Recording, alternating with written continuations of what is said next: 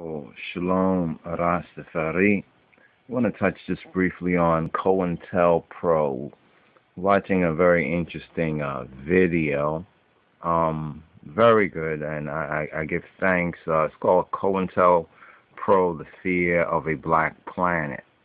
Even though on some of the, um, you could say, issues that we touch on is somewhat deficient on that because a lot of folks don't recognize COINTELPRO, the big picture, right? So when we're talking about this particular memo, this is what most folks focus on right here, this particular memo right here that was issued by J. Edgar Hoover, right? His COINTELPRO, which actually means, and you can see it right here, means counterintelligence program right? Counterintelligence. That means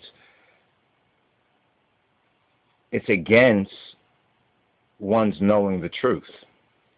And therefore, the big picture just, you know, began to dawn on I and I that most people think it's just about blacks in America, even though that is one of the main targets, right? To stop the rise of a Messiah or stop the rise of a black Messiah who could do what? Who could unify and electrify the militant black nationalist movement. And it touches on a couple of key names right here um, Martin Luther King, um, Stokely Carmichael, um, Elijah Muhammad. But when you have to look at COINTELPRO, the big picture, right? And now looking at COINTELPRO, the big picture, we have to see that the big picture, this, that's just COINTELPRO in America. But what most folks have not recognized, especially in the Israelitish and the black movement, is that the real target of COINTELPRO is Haile Selassie, the true Negus, the King of Kings, right, at the head of the Imperial Guard. Because who was he up against? Or who was against him? It was this guy right here, this tin pot Caesar. He shall challenge even the prince of princes, Benito Mussolini. The tin pot Caesar heaped scorn on a fallen Ethiopia. And so many of the truly well meaning uh, brothers and sisters out there totally dismiss the role and the relevance of Qedamawi Haile Selassie of Haile Selassie the First. And then it, it really began to dawn on me that even these statements, you know, concerning what His Majesty said about um, whether he's Christ or not Christ. Of course, the popular media is that he denied it. But if you listen to the interview yourself, you'll see that's not even the point of what he addressed. This is the Messiah, the anointed, the King of kings. Let's recognize that. This is not a vote. It's not about you going and voting for who's the king of the kings, right? The king of kings is the king of kings. So we got to recognize that most folks are not even dealing with the big picture, right? The big picture. The big picture, right? This rematch, right, between Caesar, right, or Caesar's Christ. This is who Benito Mussolini was, and it, it gets even much deeper than that when you put into prophetics, right? The whole Lateran Treaty, how that connects with Ethiopia. You know the true story of Ethiopia.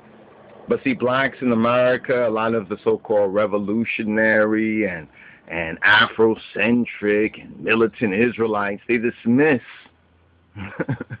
to their own shame and utter destruction the true significance of this rematch between Caesar and the Messiah, the anointed king of Israel, the king of kings of Ethiopia, the return of the Negus. They don't recognize this real connection. And this is where we have to do a little bit more um, investigation into the half of the story. Right? This is the half of the story that has not been told. So the real big picture right here how this all connects.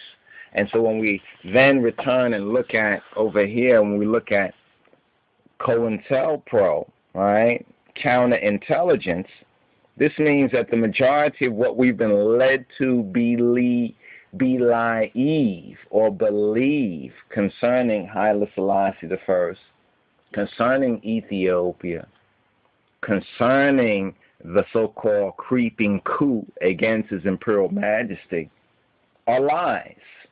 And most folks don't want to recognize that. So they'll say, oh, COINTELPRO, they lied on the black movements and nationalist movements, labeling that hate groups and killing them. And then they will look at Ethiopia and they will deny the truth, right? Deny the reality, you know? Or they'll say, oh, if Haile Selassie is, is king of kings, why was there a famine? foolish people. A bunch of foolish people. Well, how come Ethiopia is so poor? First shall be last, and the last shall be first. How come they're so poor? right? How come? So, so what it is is to divide the big picture of COINTELPRO. Basically, shows there's a COINTELPRO in the east, right, concerning Haile Selassie, the true Negus and King of Kings, right? And then there's the COINTELPRO in the west. But most don't look at the big picture. They don't recognize, they know a lot of the counterintelligence that was used right, to divide and so-called conquer. And some say, well, well, if you're not divided already, you can't be divided and conquered. Okay, yeah, yeah, all right. Mhm. Yeah, but let's look at the reality, right? To stop the rise of a Messiah. You see what I'm saying? Of a Messiah. So this is this is the double head eagle, right? When we look at the double head eagle, this is the West, the COINTELPRO, Edgar J. Hoover's counterintelligence program, FBI memo, right? But we know who they work for. Just pull out a dollar, pull out a dollar bill, and you see the Holy See. The eye will be seeing you, and the eye is seeing you, right? But we know that that only began because of these events that took place over here. How soon they forget. How soon they forget. You see, and the counterintelligence, it plays on that it plays on you forgetting. So now you got these foolish Negroes who now, because of the COINTELPRO, heap scorn on a fallen Ethiopia. Yet he is who he is. A little bit more to come on this particular subject matter, brothers and sisters. This will be the first, um, maybe, installation in COINTELPRO, the big picture. We'll follow up with something dealing with public enemy number one, COINTELPRO's public enemy number one, Haile Selassie the first.